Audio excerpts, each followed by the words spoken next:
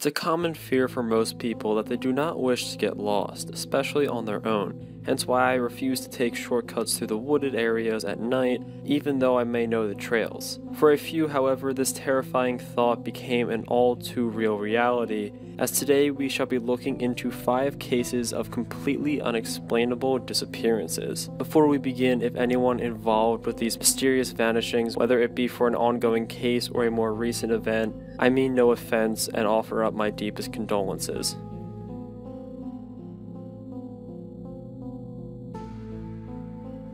On June 7, 1992, friends Susanna Streeter, 19, and Stacy McCall, 18, along with Streeter's mother, Sherrill Levitt, age 47, would all seemingly vanish after a house party in Springfield, Missouri. Both girls had just recently graduated from high school, and during the time leading to their disappearances, each had been attending graduation parties at friends' houses. Susanna and Stacy were both later seen at approximately 1 a.m. on June 7th as the two were leaving a friend's grad party in order to head back to Susanna's home, there go Sherrill's home, to spend the night. Susanna's mother, Levitt, was also last heard of at 11:15 the evening earlier through a phone call discussion with a friend. The following day, however, June 7th, all three would not answer the door as friends of Susanna and Stacy would come a knocking. Panicked, Stacy's parents would inform the police about their daughter's disappearance. Countless other friends and family members would also reach out to the police, or take it upon themselves to roughly search the home for the three women. Sadly, upon arrival, the officers would deem the scene corrupted due to several dozen individuals roaming around, this leading a few to think that evidence may have been lost in the process. In fact, the only sign of struggle was a broken light on the porch. Lo and behold, however, this was cleaned up by a family member,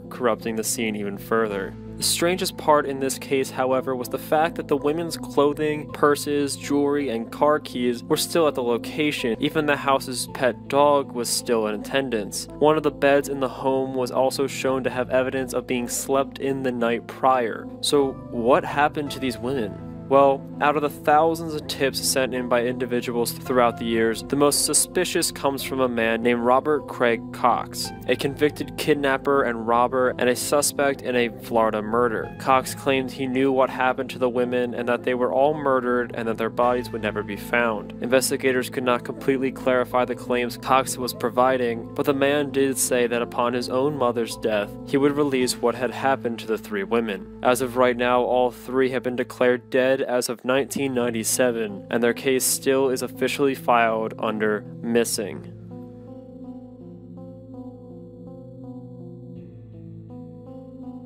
This story in particular is rather hard to explain, especially due to the sheer amount of variations people have made up over the years, turning some to believe this to simply be a silly story people tell along the lines of that of an urban legend. Nonetheless, in 1977, Jackson Wright and his wife Martha were passing through the Lincoln Tunnel on their trip from New Jersey into New York. Jackson stated that while inside the tunnel, he pulled the car over as condensation on the front and rear windows were getting too blurry to safely continue driving. Jackson would proceed to wipe down the front windshield while his wife would go to the back in order to handle the rear mirror. When Wright turned around, however, he would find his wife to have mysteriously disappeared. Jackson's claim that he never heard or saw anything unusual that took place moments before Martha's disappearance, thus leading police investigators to not be able to find any piece of evidence linking to the strange disappearance of Miss Jackson. The lack of evidence and near instant disappearance of the woman has also also led to many conspiracy theories to conjure up some wild ideas. Theories stemming from involvements from time traveling individuals to alien abduction, all the way to the more reasonable explanations, such as the wife purposefully running away and hiding, or, in my opinion, the strangest theory of them all, that Martha was completely made up in Jackson's head, a complete imaginary wife a little spooky to think about. What do you guys think could have possibly happened to Martha in that little amount of time in one of the most congested locations for vehicles in the country?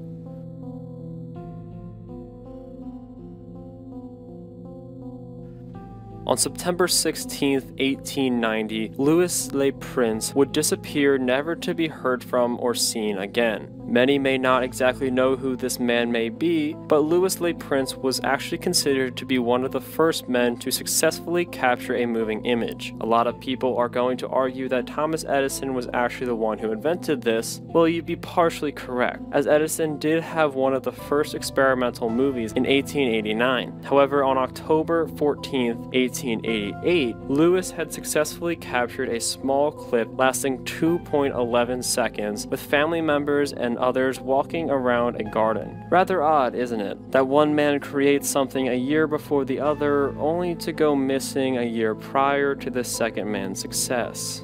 Well, in fact, this is actually one such theory as to why Louis Le Prince disappeared, as Prince was on his way back to visit friends in Paris, being last seen on his departure from England. However, he would not reach his destination, even after an extensive search, neither a body nor luggage would be discovered, leaving investigators to declare Prince dead come 1897. Now, once more, there are many theories as to why this man disappeared, with one being a successful assassination attempt due to the success of his work. Some theorize that Edison may in fact have played a hand in the assassination himself, as Prince at the time was preparing to patent his own projector design. However, no evidence has linked Edison to this at all. Other theories range from a planned suicide attempt all the way up to his own brother ending his life though at the moment it remains unclear and no one knows for sure what had happened to the cinematic inventor.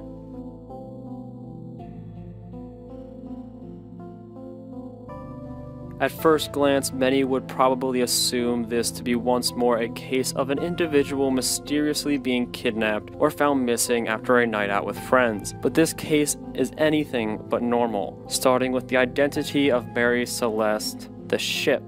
On December 4, 1872, the vessel would be discovered by a passing ship and her crew. The Mary Celeste was supposed to be on course for Genoa, Italy, but would be discovered at around three fourths of its destinated route. The crew members of the ship that located the Celeste would find many things astray in and around the now abandoned naval craft. For starters, both the captain and the crew of the Mary Celeste were nowhere to be seen. It should also be noted that the only lifeboat was also also missing. However, no evidence or sightings of this arose either. All the crew members' belongings remained in their living quarters, however, much of the ship's papers and navigational equipment were missing. Those investigating would also discover that there was an ample amount of food remaining on board, with no signs of any of them being prepared no signs of fire or struggle, leading to the idea that this was actually a calm and orderly departure from the vessel. It should also be noted that the last navigational log was dated November 25th of that year. But despite this, the initial investigation and salvage of the ship later on, no one really knows what happened aboard moments before the crew would leave. Much speculation has arisen from it all, some saying that it may have been in fact foul play in the end, while others support the idea of some sort sort of natural disaster or phenomena forcing the men to flee the ship.